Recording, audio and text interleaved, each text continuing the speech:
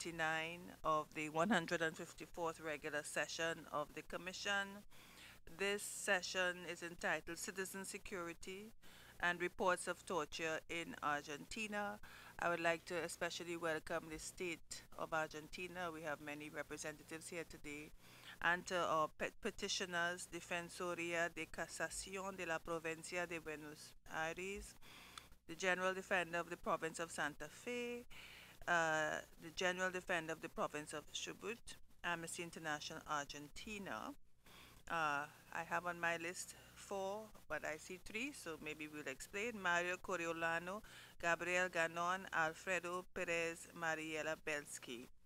With me, I have on my right, first Vice President of the Commission, Commissioner James Cavallaro, and I also have Commissioner Paolo Vanucci, who is the rapporteur for Argentina and also uh, the commissioner in charge of our unit on economic, social, and cultural affairs. And we have here with us attorneys from this section as well, Maria Claudia, uh, it, it, for instance. So the format this morning would be, as always, 20 minutes for each of the presentations after which um, we will ask a few questions and then we'll give you, depending on time, uh, a few more minutes to respond. So I'll begin with the petitioners. Thank you so much. And I am Rosemary um, Antoine, uh, President of the Commission. Muchas gracias, señora presidenta. Saludo a la ilustre Comisión Interamericana de Derechos Humanos y a los representantes del Estado argentino en esta audiencia. Nos presentamos hoy eh, la Defensoría de Casación Penal de la provincia de Buenos Aires y las Defensorías Generales de Santa Fe y Chubut como órganos de mayor jerarquía de la defensa pública provincial y Amnistía Internacional en su carácter de organización internacional reconocida por su lucha histórica contra la tortura en el mundo. A 30 años ya de la adopción de la Convención Interamericana contra la Tortura, la presente audiencia pretende ofrecer a la Comisión un panorama actual en torno a la situación de tortura y otros tratos crueles, inhumanos y degradantes en el país. La inseguridad y el crecimiento del delito han sido destacados por los medios masivos de comunicación y por actores sociales de todos los espectros como uno de los temas de mayor relevancia actual. En este contexto han surgido no solo críticas a los representantes actuales y al sistema judicial, sino también preocupantes retóricas en clave de endurecimiento de penas y prácticas como la prisión preventiva, la baja de edad de imputabilidad de los menores, el marco legal migratorio, entre otros. A la luz del proceso electoral que atraviesa la Argentina, donde muchos de los candidatos hacen uso de la retórica de la mano dura a la que hacemos mención, los peticionarios consideramos imperativo que la Comisión siga de cerca este proceso en tanto podría devenir en un agravamiento de las prácticas, de las, prácticas policiales y penitenciarias violatorias de los derechos humanos. Es entonces mi rol presentar lo que diremos a continuación a través de las experiencias de los defensores aquí presentes, el defensor de eh, Casación Penal de Provincia de Buenos Aires y de Santa Fe, en primer lugar, analizaremos las potencialidades y limitaciones de los registros de tortura, reafirmando las buenas prácticas logradas y la necesidad de replicarlas. Alertaremos sobre los altos índices de impunidad que atraviesa la tortura. Destacaremos la necesidad de contar con sistemas de protección de testigos y víctimas de torturas a través de la implementación de salvaguardas. Nos referiremos al estado de situación de los mecanismos nacional y provinciales de prevención de la tortura y finalmente abordaremos la necesidad de gozar de autonomía de la defensa. Le doy la palabra entonces a Mario Coriolano. Muchas gracias, buenos días. Eh, gracias a la Comisión por este espacio para poder trabajar juntos en contra de la tortura. Eh, es importante para nosotros la asistencia de una alta autoridad provincial a esta audiencia y de las autoridades del Gobierno Nacional. Brevemente agradecer a Amnistía Internacional por trabajar juntos para decir stop a la tortura a nivel mundial, a su vez para el informe conjunto que hemos realizado en tema de impunidad y que brevemente me referiré sobre casos de tortura a niños de 16 a 18 años y en tercer lugar también gracias a Amnistía porque nos están acompañando en la digitalización de los 10.000 casos para preservar ese archivo en el futuro y que sea también parte de la lucha de la memoria, verdad y justicia. Como se dijo, eh, hacer un diagnóstico de tortura en la provincia de Buenos Aires eh, reclama señalar cuál es la fuente de información, ver eh, un diagnóstico de tortura y otros tratos o penas crueles, inhumanos o degradantes desde un registro que se creó en el año 2000, hace 15 años, que este registro se forma en un momento donde en la provincia de Buenos Aires comenzaba esta llamada política de mano dura por primera vez y que significó aumento de tortura. Esta base, que es eh, un registro de trabajo cotidiano de defensores públicos en la provincia de Buenos Aires, lamentablemente se tuvo que sostener a lo largo del tiempo porque la práctica de tortura continúa. Para hacer un diagnóstico, yo quisiera en, dos minutos referir algunos casos paradigmáticos de niños torturados. Elegí cuatro de 10.000 y tienen nombres ficticios. El caso de Juan, que denunció el 17 de diciembre que en la comisaría de San Alberto el jefe de calle y otros, que eran ocho, lo levantaron, empezaron a golpearlo con patadas, piñas y cachetazos en el estómago, lo obligaron a arrodillarse y esta patada en el estómago hizo que lo descompuso y lo llevaran al hospital, que ya estaba su hermana en la comisaría. Luego del hospital volvió a la comisaría y lo dejaron en libertad. Esto no es la primera vez que le pasa, este hostigamiento es moneda corriente. Lo mismo que Juan, que se animó a denunciar, porque una inmensa mayoría no lo denuncia, lo hizo Pedro, en compañía de una operadora de un programa municipal. Él no tiene padre, señaló, y vive en la Villa San Petersburgo, donde el comisario y otros tres policías que identifica con nombre y apellido lo levantaron, lo llevaron a la comisaría, le propinaron golpes, patadas, le hicieron submarino seco, lo amenazaron de muerte. Esto lo hacen para que aporte datos respecto de hechos ocurridos. En un allanamiento que hubo en 13 casas, reventaron todos. La policía robó dinero, electrodoméstico, pero a su vez les ponen armas y le arman causas. Finalmente señaló que una chica del barrio le paga mensualmente a la policía para poder vender droga. Identifica a los policías, el monto y el lugar. El tercer caso es de una madre, porque este chiquito, que llamamos Pedro, tiene 17 años, y la operadora nos cuenta que está muy afectado por el tema drogas y apareció en el barrio con un arma de fuego. Y les dijo, lo mato al comisario, ¿me mata a mí o me termino matando? Efectivamente, Pedro en el mes de enero se suicidó con un revólver. Estaba cansado del hostigamiento policial. Como dijo la operadora Gabriela Luna, este piojito estaba muy mal con la droga, pero la policía no lo dejaba vivir. El caso de la madre es la que refiere el allanamiento en su casa donde la policía entró de manera violenta, sin orden, y vio cómo a través de su nena de 11 años le ponían cosas que no eran para imputar a su hijo falsamente. Le rompieron las cosas y el arbolito de Navidad. Me cuesta mucho comprar las cosas y siempre la policía me roba.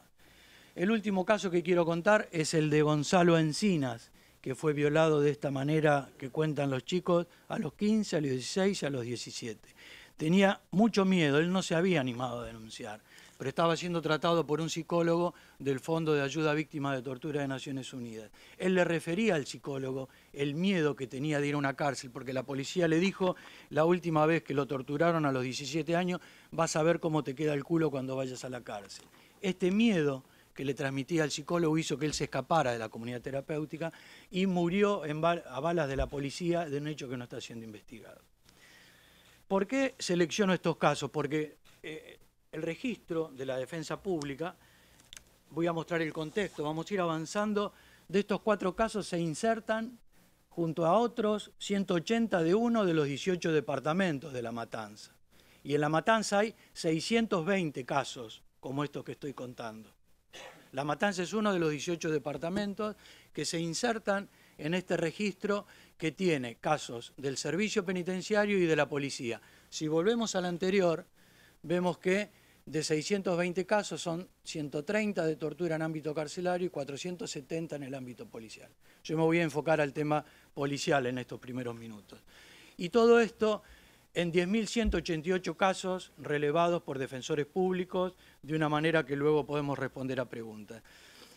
¿Qué digo eh, de la importancia de esta información? Que esto permite colaborar en dar transparencia a lo que ocurre dentro de las comisarías y cárceles para que el pueblo se entere, pero también para que pueda haber una interacción con otros sectores democráticos, en el ámbito local, en el ámbito nacional y en el ámbito internacional para la construcción de un discurso alternativo a la demagogia punitiva. Es importante, me parece, marcar la impunidad en estos hechos en dos informes, a modo de ejemplo. El primer informe de Mercedes sobre 88 casos denunciados, ninguno llegó siquiera a que se le tome declaración al imputado. Y el otro informe conjunto que focalizamos en víctimas a pibes de 16 a 18 años, junto con Amnistía, de 57 casos denunciados, de los pibes que se animan a denunciar, porque la gran mayoría no denuncia, ninguno llegó ni siquiera a juicio oral. Entonces, son muchos los actores que están involucrados en este tema. El enfoque que se propone desde la seguridad ciudadana es porque la tortura hay que verla en un entramado, un entramado de corrupción policial vinculado al tema de drogas, en el armado de causas a nuestros defendidos y en ese contexto la tortura. Esto le hizo decir al fiscal general de Bahía Blanca, al jefe de los fiscales de uno de los departamentos judiciales, que los funcionarios policiales destinados a prevenir delitos muchas veces son los que en realidad los cometen y muchas veces lo dirigen. De los distintos actores yo eh, me voy a concentrar en un conjunto de medidas que vinculan a la policía, al servicio penitenciario, fiscales y jueces, en la situación de la defensa pública. Quiero terminar esta eh, intervención a 30 años de la Convención Interamericana para la Prevención y la Sanción de la Tortura, que no hay políticas públicas de prevención y que no hay sanción. Estos severos déficits desde la defensa pública, que es uno de los tantos actores, creemos imprescindible terminar señalando a la Comisión lo importante de la garantía de la independencia institucional del defensor público como un defensor de derechos humanos. Saben bien los comisionados los problemas que tienen los defensores de derechos humanos cuando levantan estos temas y los, los ponen en la agenda. Las distintas formas de hostigamiento frente a graves violaciones atravesadas por la impunidad es el ataque no solo a las víctimas que ha crecido en la franja de PIB de 16 a 18 años, sino en el debilitamiento de la independencia de la defensa pública, que estimamos es un actor fundamental, junto al mecanismo local de prevención para la prevención de la tortura. Defensa pública, mecanismo local de prevención, son, entre otras dos medidas importantes, aún pendientes en la provincia de Buenos Aires. Le voy a dar la palabra entonces a mi colega de Santa Fe, Gabriel Ganón. Buenos días, señora presidenta, señores comisionados, miembros del Estado, público presente. En su momento celebramos en la provincia de Santa Fe la puesta en funcionamiento de un proceso acusatorio hace poco más de un año, porque esta puesta en funcionamiento de un proceso acusatorio en la provincia de Santa Fe significó la apertura de una grieta en la Administración de Justicia que podía ser determinante una modificación en la forma que la Administración de Justicia, la Defensa Pública y el Ministerio Público de la Acusación luchaban en conjunto contra la tortura. Así, a partir de esta grieta que se abrió, seguimos el camino iniciado en su oportunidad por el defensor de la provincia de Buenos Aires, Mario Correano, hace ya más de 15 años y creamos en la provincia de Santa Fe un registro de casos de tortura y otros tratos crueles, inhumanos y degradantes. Este, este registro, que creamos muy artesanalmente, registra desde su puesta en funcionamiento hace dos años casi prácticamente 800 casos de tortura. Las características de los casos que se encuentran en este informe son compartidos con el diagnóstico que acaba de dar recién eh, mi colega Mario Corolano. La mayoría de los casos de tortura eh, tienen que ver con participación de la policía en procedimientos, la mayoría de las veces irregulares de detención de un grupo particular de personas, que es lo que en criminología se denomina como el grupo de propiedad policial. Sin embargo, cuando nosotros iniciamos este camino de la construcción de un registro de casos de tortura y de tener una práctica activa desde la defensa pública contra la tortura, eh, conocíamos las consecuencias que había sufrido la Defensoría de Casación con el, intento de desmantelamiento del registro y los numerosos actos de hostigamiento de los que había sido víctima. Algo similar terminó ocurriendo en la provincia de Santa Fe. Así las cosas, como consecuencia de la puesta en agenda de la tortura como un fenómeno sistemático en la provincia de Santa Fe impune en la provincia de Santa Fe, sufrimos actos de hostigamiento y restricciones materiales y presupuestarias. De todas maneras, continuamos con, con el funcionamiento de este registro. Una de las circunstancias que a nosotros nos parece relevante poner en, situación, y que ya lo mencionó hace un instante Mario Corellano, es lo que tiene que ver con, con la impunidad en los casos de tortura. Nosotros hicimos un relevamiento que recién puesto, fue puesto en una de las filminas de la mayoría de los casos denunciados en la ciudad de Rosario durante solo un año, la mayoría de los expedientes no tuvieron ningún movimiento judicial en todo ese año. Otra de las características de las denuncias es que la mayoría de las víctimas realizaron más de una denuncia, que 29 víctimas son mujeres y que el 80% del personal que participa en los actos de tortura es personal que corresponde a la policía. Este comportamiento de la Administración de Justicia de no iniciar ni querer eh, eh, eh, iniciar estas investigaciones por caso de tortura también lo relevamos durante el año pasado cuando tomamos en consideración que la puesta en funcionamiento del proceso acusatorio, muchas de las víctimas de tortura ponían en conocimiento de los jueces y fiscales en la audiencia el episodio de tortura. Sin embargo, a pesar de esta circunstancia, ni jueces ni fiscales iniciaron una investigación. Las únicas denuncias que se iniciaron, aunque no recibieron la correspondiente investigación y se mantuvieron en impunidad, son aquellas denuncias en las que la defensa pública participó activamente y acompañó a la víctima a realizar la denuncia. Todas estas circunstancias creo que para ir eh, ya finalizando y no detenerme en algunas circunstancias que, no las considero relevantes, quiero poner sobre la mesa eh, unas circunstancias que son determinantes de esta práctica de impunidad de la tortura. Creo que una de las circunstancias que tenemos que, que tener en consideración es la insuficiencia en la provincia de Santa Fe de mecanismos adecuados para la protección de las víctimas de tortura. La otra circunstancia que también es determinante y que se relaciona directamente con lo que hemos detectado en el relevamiento estadístico que hicimos a través del cuestionario que hemos hecho a las víctimas de tortura, es que las víctimas de tortura no denuncian la tortura por dos circunstancias fundamentales. La primera de esas circunstancias por la que no denuncian la tortura es porque consideran que van a, que van a sufrir represalias. Y la otra circunstancia es porque la Administración de Justicia no investiga las causas de tortura. Por eso nosotros queremos cruzar esta información con esto que decíamos eh, al comienzo. La tortura tiene que ver con la impunidad y tiene que ver también con la insuficiencia de los mecanismos de protección de las víctimas de tortura. Y también tiene que ver con esto que hemos intentado proactivamente de la Defensa Pública de Santa Fe, de acompañar a las víctimas con el patrocinio jurídico letrado, porque es el único patrocinio jurídico al que pueden acceder. El defensor público, que tiene que ser un defensor de derechos humanos, tiene que ser aquel que acompaña a la víctima en su búsqueda de lograr justicia. A pesar de todas estas circunstancias, como consecuencia de este intentar acompañar a la víctima, también sufrimos actos de hostigamiento. Y para graficar esto que decía hace un instante, de cuáles son las circunstancias en las que nosotros detectamos que la mayoría de las víctimas son torturadas, me voy a referir muy rápidamente a dos casos que ocurrieron el año pasado y que son absolutamente emblemáticos.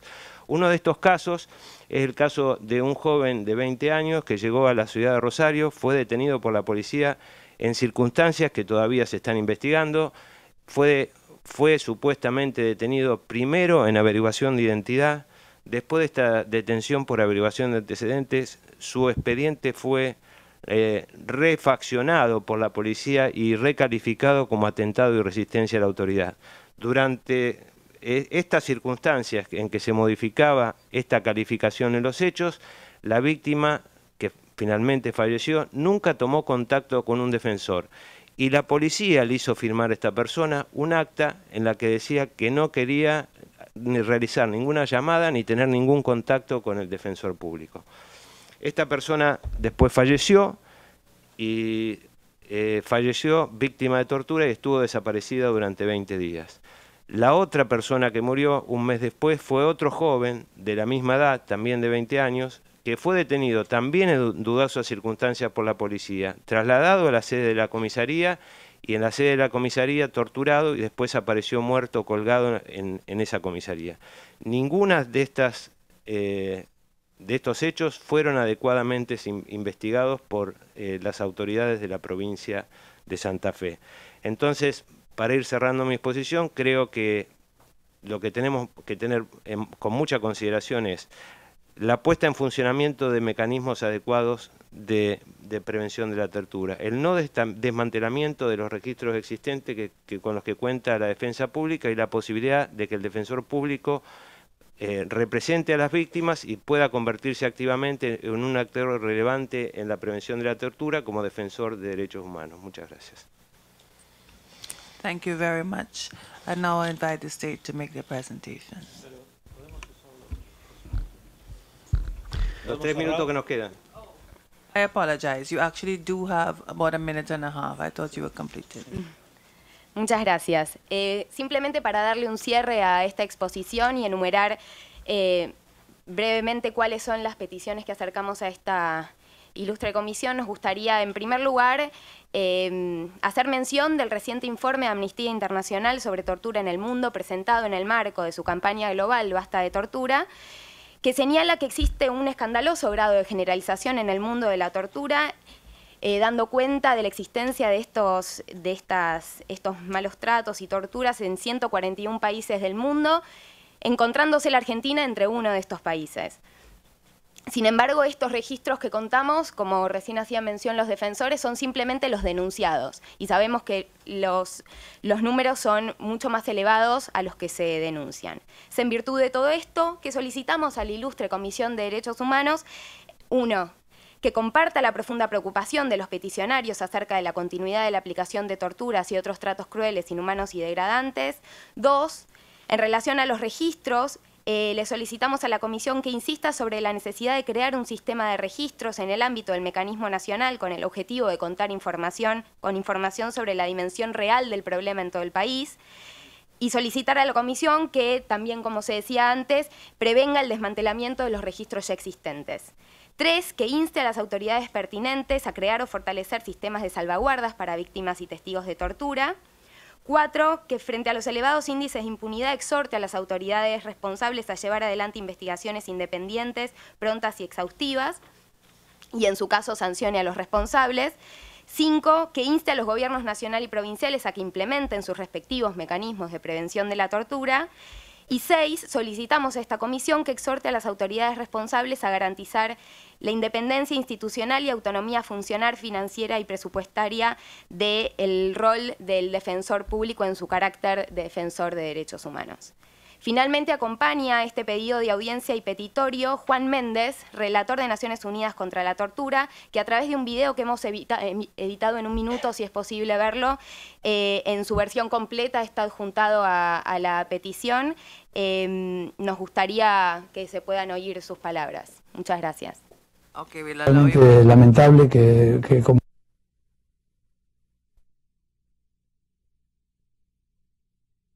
más de 30 años de democracia, el fenómeno de la tortura sea todavía tan persistente.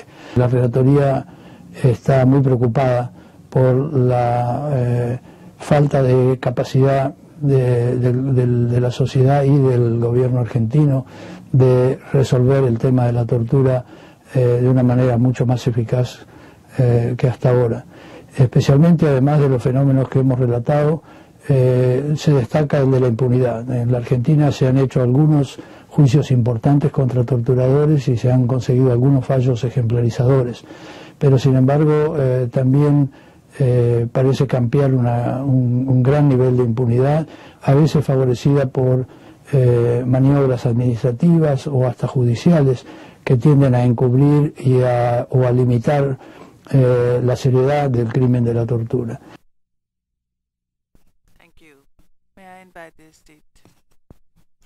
Gracias, señora presidenta, honorables comisionados. Gracias al informe de los peticionarios, el Estado Nacional, eh, con la veña de la comisión, va a pedirle al señor ministro de Justicia de la provincia de Santa Fe y al señor subsecretario de Política Criminal de la provincia de Buenos Aires que expongan estos momentos.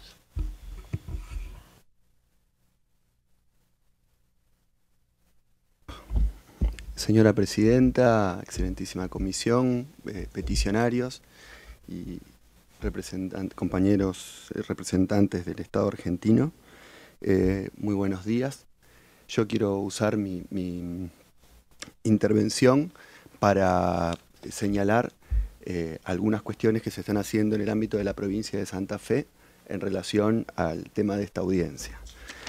En primer lugar, en cuanto a las eh, a la retórica que existe en nuestro país en general, en un contexto electoral, en relación a las políticas de mano dura y endurecimiento de las penas, eh, yo quiero destacar que eh, es efectivamente cierto que hay una utilización oportunista de eh, muchas de, de, estos argumentos.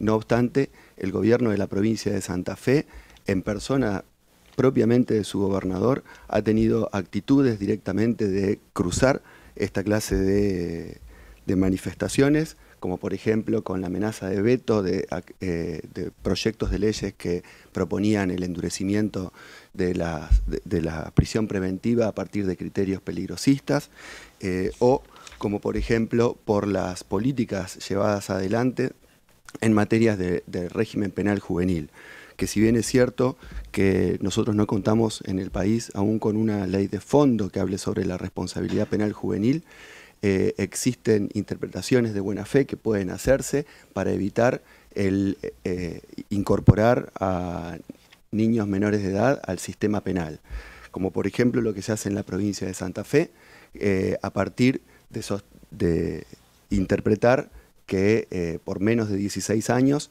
no pueden estar incorporados en ninguna clase de establecimiento del sistema penal y así se lo han hecho saber a los jueces y después de una larga batalla de índole judicial en, las, eh, en la órbita del sistema penal de Santa Fe no existen eh, en la actualidad menores de 16 años en el sistema penal privados de su libertad.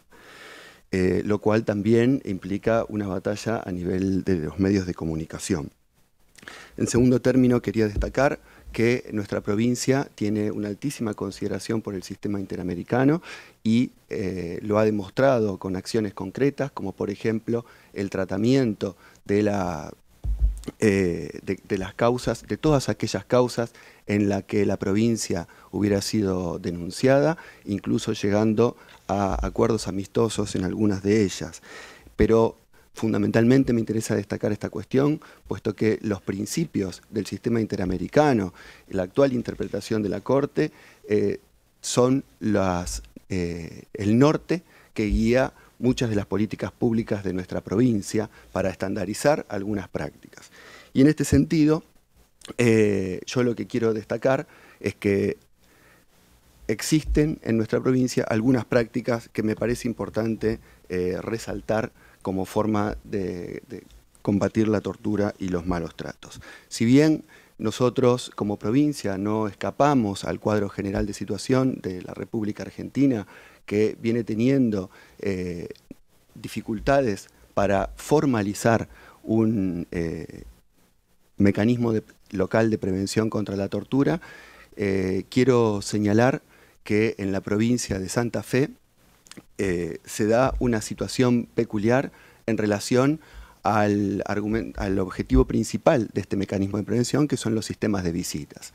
Nuestra provincia tiene eh, una sociedad civil con muchísima conciencia eh, en relación a este tema que nos ocupa y consecuentemente hace muchísimos años que existen prácticas de diversas organizaciones de la sociedad civil y ONGs que eh, visitan las cárceles, eh, práctica totalmente aceptada por los servicios penitenciarios y la policía que eh, al menos no se han denunciado ni puesto de manifiesto dificultades para acceder a estas visitas con toda la amplitud, incluso en horarios nocturnos y en horarios que no son y sin aviso.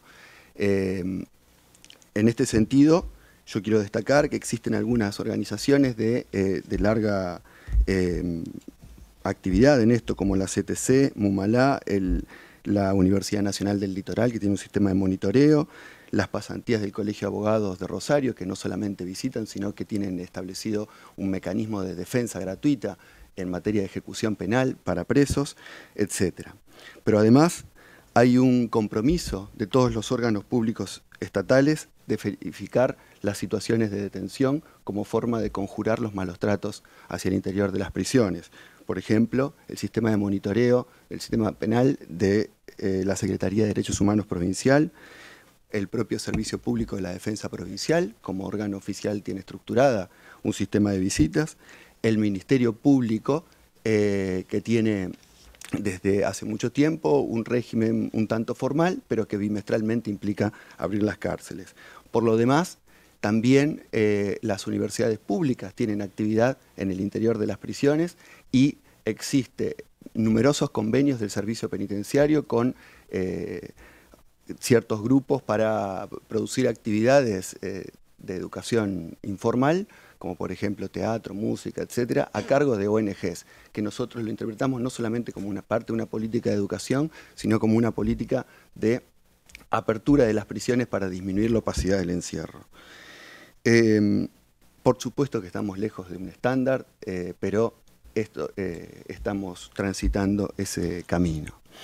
Por lo demás, esto ha sido explicitado en las bases para una política penitenciaria progresista que eh, en la gestión de gobierno anterior se estableció como política de Estado, una política de apertura a la cárcel con estos lineamientos que les acabo de señalar, independientemente de la formalización o no de un mecanismo local de prevención contra la tortura.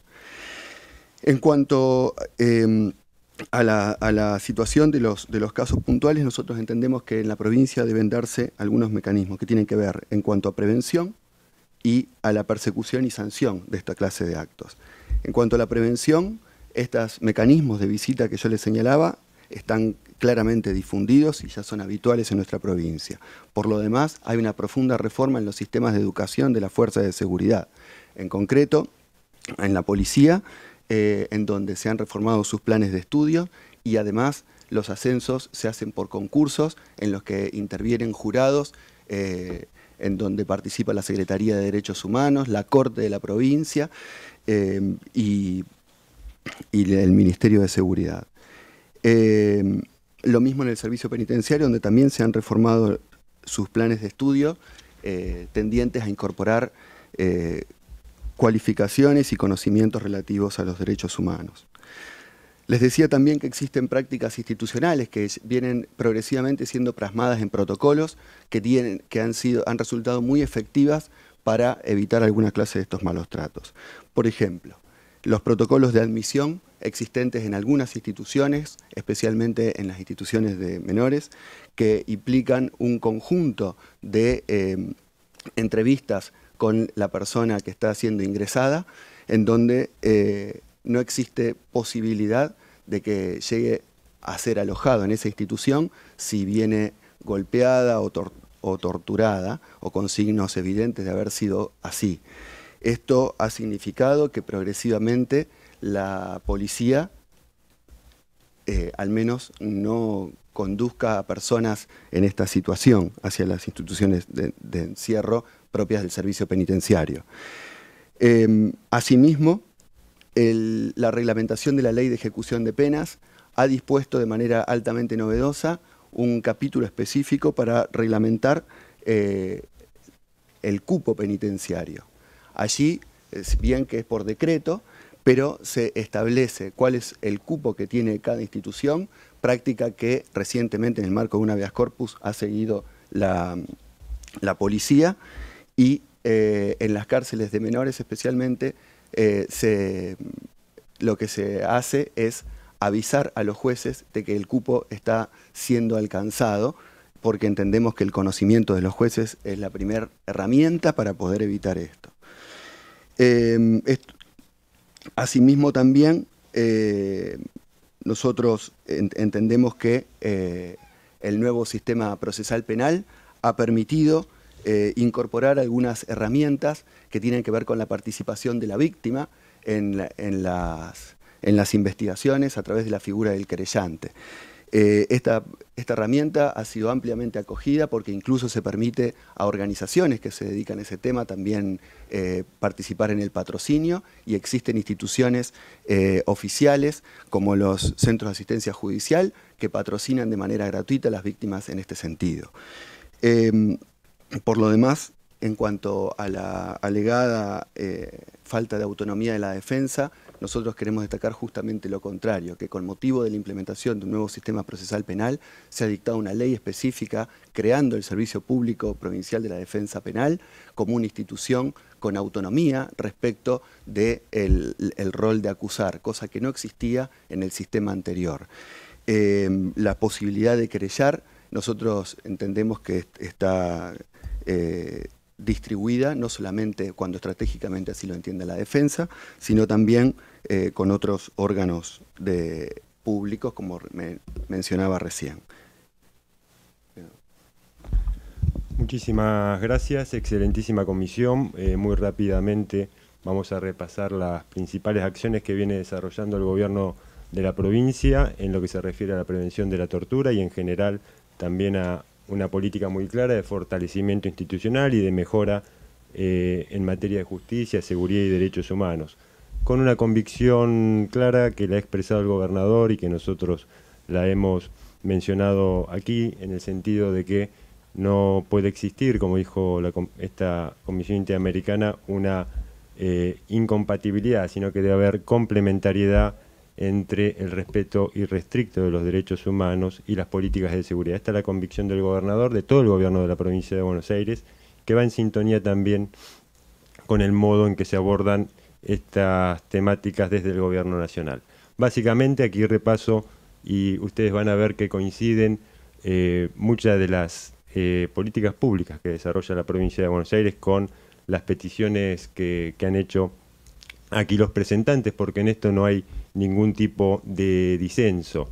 Y me quiero detener básicamente en eh, estos cinco, cinco, aspectos, luego están más desarrollados junto con otras acciones aquí en la documentación que nosotros vamos a aportar en este momento a la comisión en estos dos tomos, junto a un, eh, a un video institucional que les vamos a dejar para eh, evidenciar las mejoras en las, en las condiciones de detención. Pero básicamente aquí queremos referir la creación, por un lado, de eh, la autonomía de la defensa pública, que eh, fue sancionada eh, la ley en el año 2012 y está en proceso de implementación junto con una deuda histórica como era en la provincia de Buenos Aires la creación de la Policía Judicial, que son cuerpos de investigadores con especialidad para que los fiscales tengan plena autonomía a la hora de investigar. Y es muy importante destacarlo aquí porque este cuerpo de investigadores judiciales tiene competencia en los delitos más graves, pero básicamente en delitos cometidos por funcionarios y por fuerzas de seguridad. Así que esto es no solamente un mensaje, sino una herramienta muy clara en contra de la impunidad, que se complementa con eh, eso que ponemos ahí en el primer punto, fiscalías especializadas en violencia institucional. Nosotros aquí trajimos copia de la ley que sancionó en el mes de enero el gobierno de la provincia de Buenos Aires. Me parece que es una experiencia novedosa que puede servir como modelo y que se van a implementar a lo largo de este año. Son 21 fiscalías creadas en la provincia de Buenos Aires que tienen como cometido específico y exclusivo trabajar sobre la violencia institucional es la ley 14.687 que nosotros vamos a, aquí acompañamos y estas fiscalías van a tener competencia para investigar homicidios, lesiones, privaciones ilegítimas de libertad, torturas, siempre que aparezcan vinculadas a prácticas abusivas o ilegales del poder coercitivo estatal. Y se dirige básicamente a impedir que exista impunidad cuando los investigados Pueden ser agentes estatales, personal de salud, fuerzas de seguridad o penitenciaria. Cualquiera sea el ámbito en que se cometa el delito, en una institución cerrada o en la vía pública.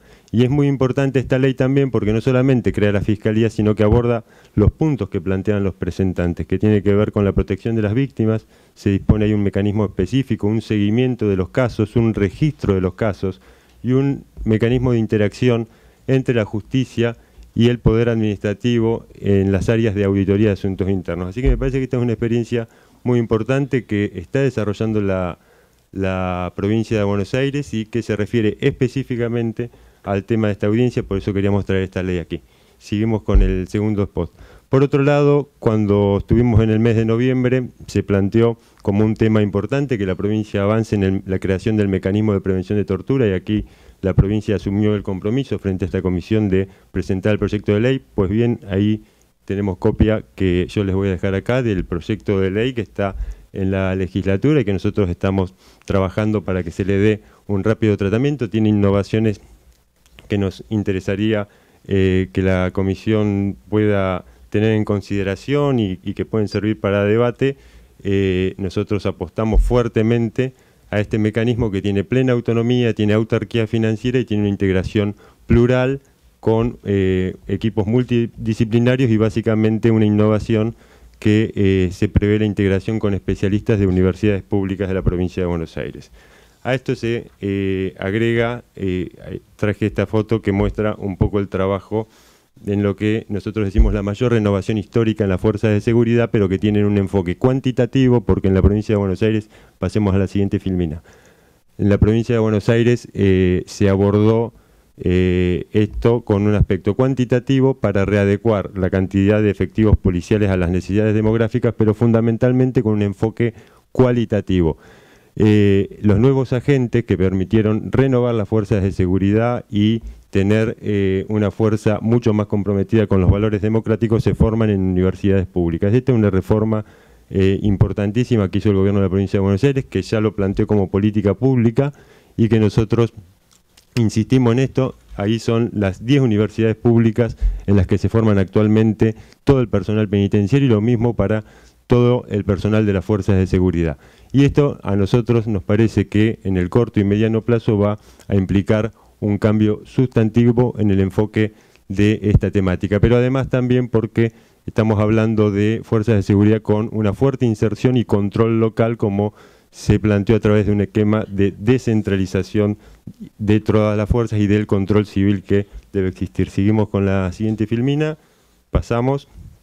Y finalmente, eh, porque ya no me queda tiempo, quería rápidamente, con la imagen del modelo de alcaldías departamentales, eh, referirme a algo que nosotros entendemos que es esencial para trabajar en prevención de tortura, que es tener mucho control civil. Esto en la provincia de Buenos Aires es una política que venimos desarrollando. El modelo de alcaldías es un modelo de control civil, de conducción civil. Un abogado conduce el centro de detención, pero también esto se da también a nivel de la jefatura del servicio penitenciario, del control de las fuerzas de seguridad en general y de todas las creaciones administrativas que vienen desarrollando en este sentido de mensaje de no impunidad. Acá nosotros repasamos todas las intervenciones que se han dado a través de la Auditoría de Asuntos Internos Penitenciarios, con todas las sanciones que se han adoptado frente a cualquier abuso funcional, es importante que la Comisión lo tenga en cuenta.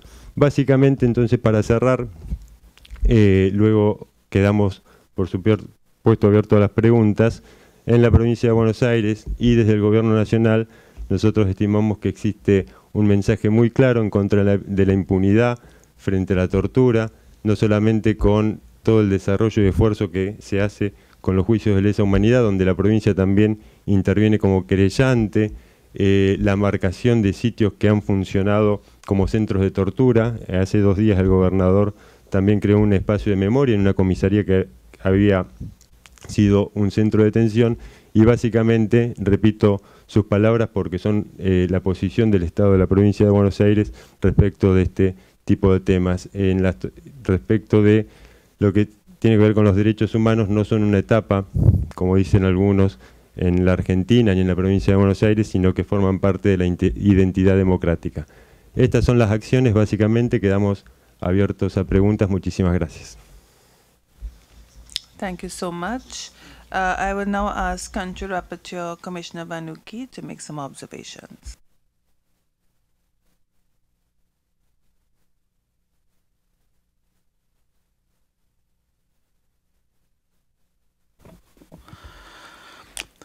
Gracias, Presidenta.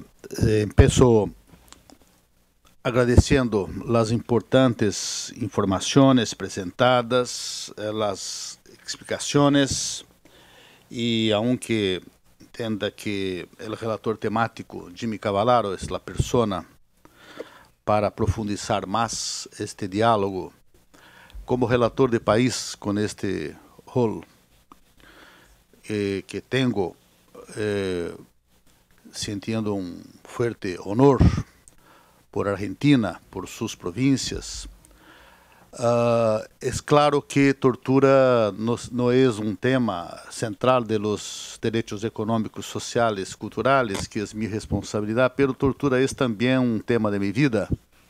Eh, la lucha en contra la tortura es una de las más centrales en la, toda la afirmación histórica de los humanos. Y mi único comentario aquí sería para mientras escuchava as ponências, também completava com uma viagem hacia cada uma das províncias para ver os mapas, as cidades, os dados econômicos, políticos, e também houve menções sobre contextos políticos especiais de um país que vive este ano um processo eleitoral, são próprios da democracia. E aqui, eh, o que me gostaria ser comentário es eh, de, el problema de la conexión necesaria entre la tortura de ayer y la tortura de hoy. Porque Argentina es uno de los países emblemáticos y reconocido eh, en la región que otros por el tratamiento ejemplar uh, de sanción, de investigación.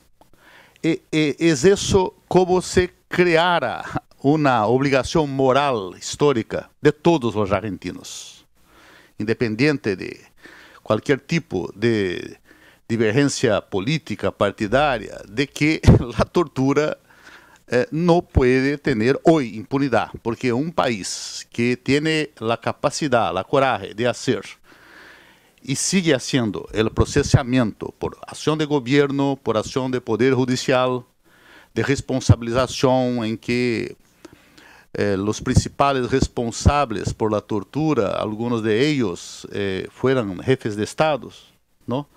Eh, eh, apenados, condenados. Es como si ese país tuviera una obligación especial de enfrentamiento igualmente simbólico acerca de la tortura de hoy, que es un problema de los otros países, de mi país de origen también, porque Brasil se preocupa com a questão da tortura, da ditadura, e se há hoje uma tortura que sigue ocorrendo. Então, é caso que me eh, eh, resumo a esse tipo de apelo, de agradecimento a, a, lá, a los peticionários, de agradecimento a todas as informações completadas e uma palavra da CIDH eh, de seu relator para a Argentina de encorajamiento de seguir adelante para que no sobreviva ninguna duda de que la tortura de hoy es eh, menos grave, menos importante que la de otros tiempos. Gracias. I will ask Commissioner Cavallaro, who is the rapporteur for persons deprived of liberty, to make some observations. Uh, many thanks. Uh, Madam President, uh, you won't need those. Uh, muchas gracias. Este, se, iba a decir que no hace falta. Este, uh, bueno, tengo varios comentarios. Quisiera comenzar retomando lo que ha colocado mi colega, uh, el comisionado Manuki, y, este, enfatizando la necesidad de tratar el tema de la tortura, tanto en su, en, en, en su de, de la perspectiva histórica como también como práctica infelizmente actual en las Américas, eh, en todos los países del continente. Infelizmente sigue habiendo malos tratos y torturas. Ese es un hecho ah, que no hay como eh, negarla, eh, negarlo. Y, y en ese sentido quisiera comenzar destacando la importancia de esta sesión del diálogo, de la actitud abierta, tanto este, de, los representantes del, del Estado eh, argentino como también de la sociedad civil. Y eh, eh, me, coloco personalmente como en mi, función como relator de los derechos de de la, persona privada de libertad, como por la comisión, nuestra disposición de colaborar siempre con este diálogo ah, y de buscar formas de trabajar juntos para erradicar a la tortura. Yo creo que todos compartimos uh, ese objetivo y la cuestión es cómo. Ah, ahí felicito a, las dos presentaciones. Ah, felicito eh, eh, eh, específicamente, y, creo que es algo muy impresionante, el, el, archivo, el registro de, de, los casos, de las denuncias de malos tratos y tortura, que se habla acá de 10.000 denuncias, sabiendo que no, son, este, no es el universo total, en función eh, de todo lo que es este, con sus complejidades, este, el fenómeno de la tortura, con el miedo y, las, el miedo de represalias, etcétera, etcétera. Sin embargo, esa cifra es muy alta cuando se compara con los registros de otros países. Yo no creo que, que sea porque el, eh, el, fenómeno sea más eh, amplio en la Argentina. Yo creo que tiene que ver con la eficacia y la excelencia del trabajo de registro que se, viene, haciendo eh, la Defensoría. Ese es un hecho importante, constituye, eh, creemos nosotros, una buena práctica, algo que tanto los responsables directos como también el Estado argentino debería ver como fuente de orgullo, ¿no? O sea, porque la reacción inicial es de caramba, 10.000 casos. Pero si hay 10.000 casos, es mejor saber de su existencia para poder trabajarlos que eh, eh, intentar este, esconder una realidad infeliz. Entonces, e, esa es la primera constatación que quisiera decir por la comisión, que es una práctica importante.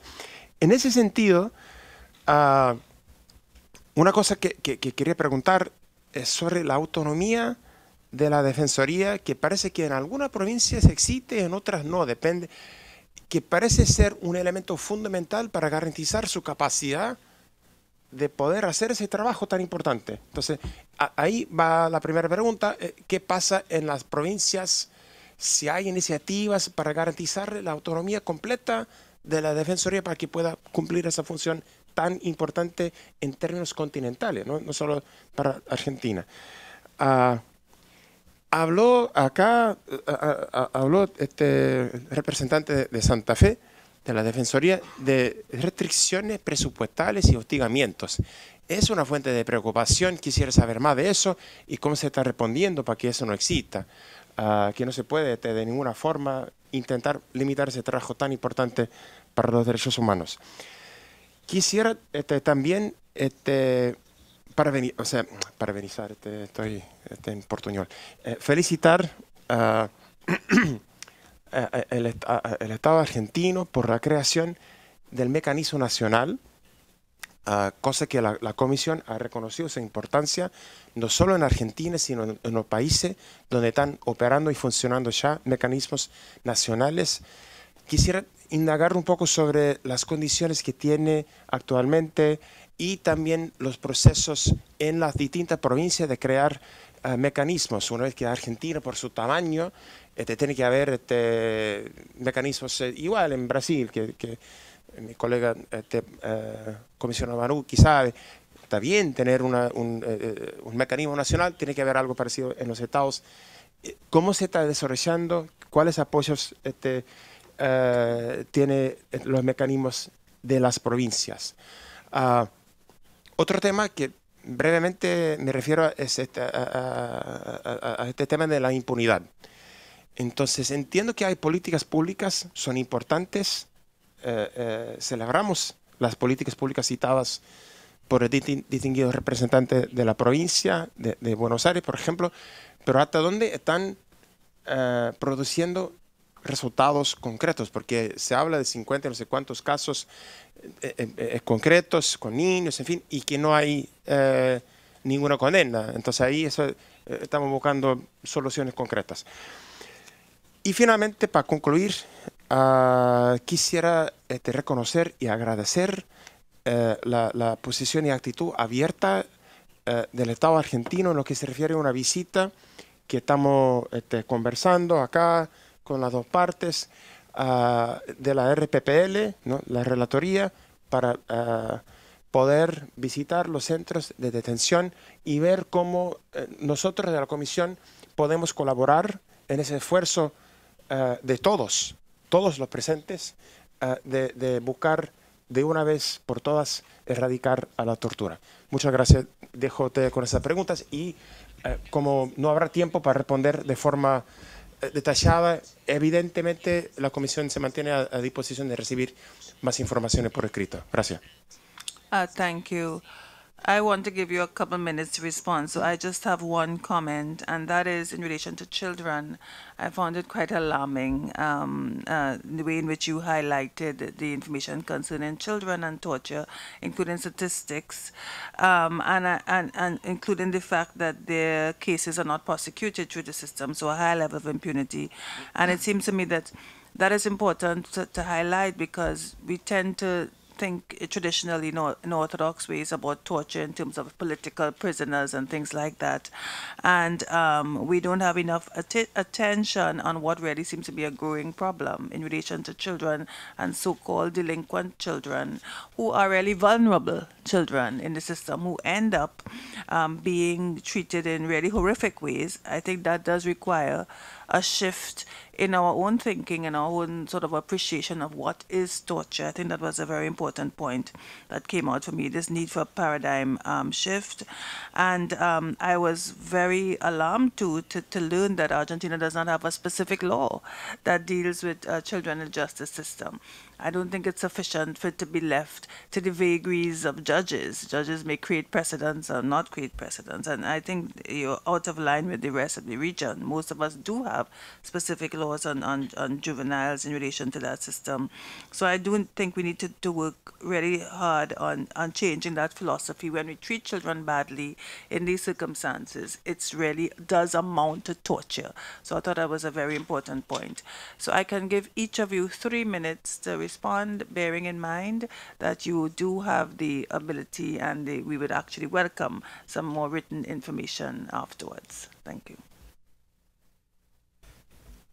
Bueno, la, primera cuestión, gracias por la, por la palabra que yo quiero poner sobre la mesa, que tiene que ver con lo que decía el comisionado Banuki. Una de las consecuencias de estos niveles de impunidad que tiene la tortura de hoy es que la víctima de hoy es diferente a la víctima de ayer y la construcción de una víctima ideal es un, un es un proceso cultural en el que tenemos que involucrarnos todos, los, actores gubernamentales o los actores eh, de la sociedad civil y modificar cuál es la, el concepto de la víctima ideal de la tortura, que hoy la víctima ideal de la tortura, por eso hay y se genera tanta impunidad, sobre todo judicialmente.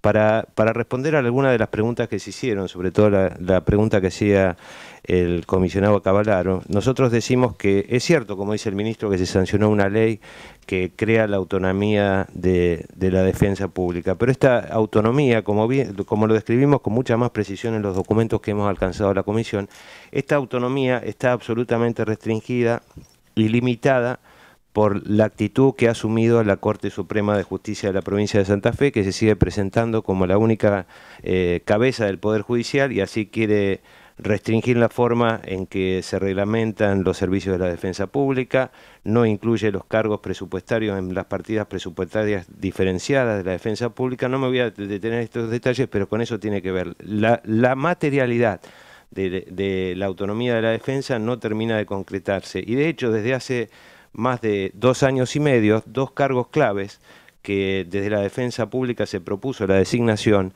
el Poder Ejecutivo y la Corte Suprema de Justicia demoran su designación. Estos dos cargos son uno de los cargos claves de la defensa pública como defensora de derechos humanos, que es el secretario contra la violencia institucional, y la directora del registro de la base de datos de casos de tortura. Estos dos cargos están continuamente siendo limitados por, eh, por el Poder Ejecutivo y le voy a dejar la palabra a, a mi colega porque si no, muchas gracias. Gracias, señora Presidente. Y brevemente, eh, y aceptamos la, propuesta de ampliar algunas respuestas por escrito porque no nos va a dar el tiempo y fueron preguntas que hicieron los dos comisionados bastante centrales. Y me gustaría empezar por la de la pregunta del eh, comentario del comisionado Banuki acerca de por qué se luchó contra la tortura de ayer, siendo Argentina un ejemplo en el mundo, y por qué en la provincia de Buenos Aires prolifera la tortura y hay impunidad. La diferencia es la decisión política, porque el gobierno nacional actual tiene un enfoque de derechos humanos y el gobierno provincial no. Lamentablemente estamos a final de gestiones de ambos gobiernos, pero ahí es donde creo que juega un papel importante la Comisión Interamericana. Porque como bien dijo el doctor Albarracín, que nos complace que sea una alta autoridad provincial que venga este, a hablar de tortura, eso es importante. Claro que las cuatro medidas que él eh, enumeró, Fiscalía Especializada, el mecanismo local, la de autonomía de la defensa y policía judicial, ninguna de las cuatro está vigente. Y están a final de gestión, ocho años, y esto lo veníamos pidiendo hace 15. Entonces no es un problema solo de esta gestión que termina, sino que es el problema cuando la seguridad ciudadana carece de un enfoque de derechos humanos. Se orienta en la mano dura o en distintos disfraces y por eso llegamos a este cuadro de situación, donde venimos a hablar de tortura y se termina hablando por ahí de la alcaidía o del hacinamiento. Claro que hay buenas prácticas, pero no en esto. A esto se llegó por malas prácticas y porque las pocas buenas decisiones que se deberían haber tomado no se tomaron. Entonces ahora sobre el final, lo de fiscal, no me voy a referir a las cuatro, pero la de Fiscalía Especializada la impulsamos desde el espacio legislativo de Derechos Humanos, que presiden dos legisladoras a nivel provincial, que integra la Secretaría de Derechos Humanos de Nación, y ahí salió lo de Fiscalías Especializadas. Pero es importante lo que dice el gobierno. Antes de fin de año van a estar los 21 fiscales especializados. Bueno, tomamos nota y vamos a ver. En las sesiones de marzo del año que viene podremos decirle a, los comisionados, ya hay fiscales especializados funcionando. Pero después sigue la película cómo se lo designan, cómo trabaja, cómo rinden cuenta, porque también pueden ser los fiscales especializados cómplices de la impunidad. Los otros temas que tampoco están funcionando y que son centrales, como se mencionó, y lamentamos que se los anuncie sobre el final de gestión, ojalá que de acá a fin de año avancen los otros temas. En ocho años no se avanzaron, tal vez ahora sí. Lo que digo entonces, y paso al, al comentario de eh, a, las, a, las, varias preguntas. Uh, las respondo por escrito, pero um, eh, quiero agradecer el reconocimiento. Yeah, we can take them in writing because I did give you extra time in your presentations and we have another hearing coming up soon. So we'll, we'll invite you to Gracias, present them in writing. Thank you so much again. I still like to give the state three minutes, although we've run out of sí. time for this session. Thank you. Gracias, señora presidenta. Simplemente en nombre del Estado Nacional quisiera hacer eh, breves acotaciones puntuales. Para nosotros es tan importante la lucha contra la impunidad en relación con los crímenes y las violaciones de derechos humanos que ocurrieron en el pasado como las que ocurren en el presente.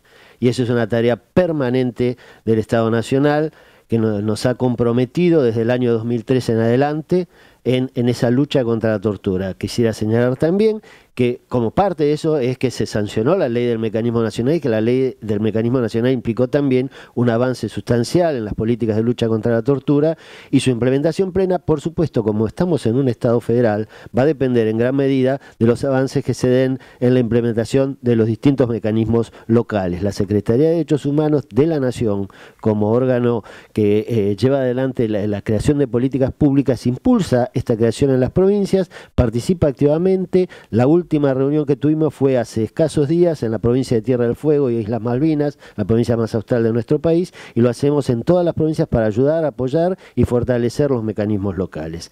No podemos olvidar que nuestro país es un sistema federal y que la administración de justicia y el manejo de la seguridad son facultades no delegadas por las provincias a la nación. Sin embargo, la nación colabora con todas ellas en la búsqueda de soluciones a un problema que no ignoramos, pero contra el cual estamos combatiendo con otros órganos. La Defensoría General de la Nación, la defensa pública de la nación es en nuestro sistema nacional un organismo extra poder que no recibe instrucciones de ningún otro poder y que tiene plena y absoluta autonomía. Y junto con la defensora general, la doctora Estela Maris Martínez, la Secretaría ha participado activamente en lo que fue la campaña nacional contra la tortura que dicha funcionaria eh, implementó.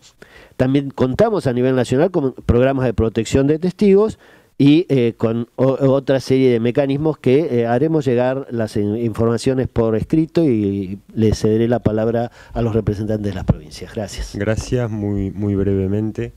Eh, para contestar este, este punto. En la provincia de Buenos Aires, en materia de justicia, acá lo, lo, resumimos en, en esta presentación, se hicieron en estos ocho años las reformas estructurales más importantes que algunas llevaban más de un siglo sin tomarse. Y ahí ustedes pueden ver en, la presentación también las imágenes de lo que fue el primer juicio por jurados en la provincia de Buenos Aires, que tiene que ver con la democratización de la justicia, con la participación de los ciudadanos, con una opción más para el imputado, para la defensa, no es obligatorio para nadie, pero esta es la muestra de que estas reformas estructurales se están llevando a cabo, se están cumpliendo y están funcionando.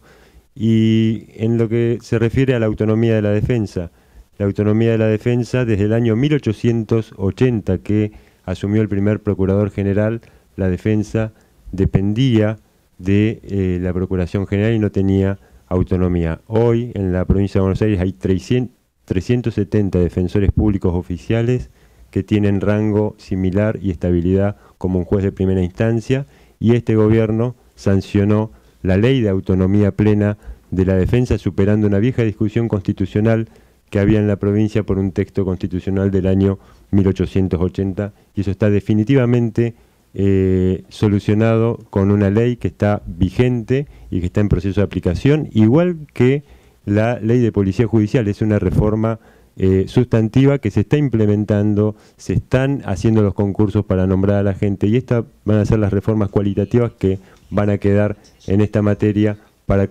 trabajar en la prevención de torturas eh, y seguir potenciando todas las acciones del Estado, no solamente contra las torturas del pasado, sino también las del presente. Muchas gracias. Thank you so much, and we unfortunately don't have any more time. But of course, we always have time to have meetings, to have further dialogue with the rapporteur, either the country rapporteur or the special rapporteur or the rapporteur on persons deprived of liberty. Uh, we do have many hearings today, as you know, as well as meetings during lunchtime, so we have to keep, keep to our timelines as best as possible. I want to thank all of you uh, once again, the petitioners for bringing this important issue to light and to stick with us in, in, in these in monitoring these concerns. We recognize the developments and the progress that Argentina has made, but we understand that there's a lot more work to do. So thank you all and for the good dialogue that happened today. It's the end of this proceeding.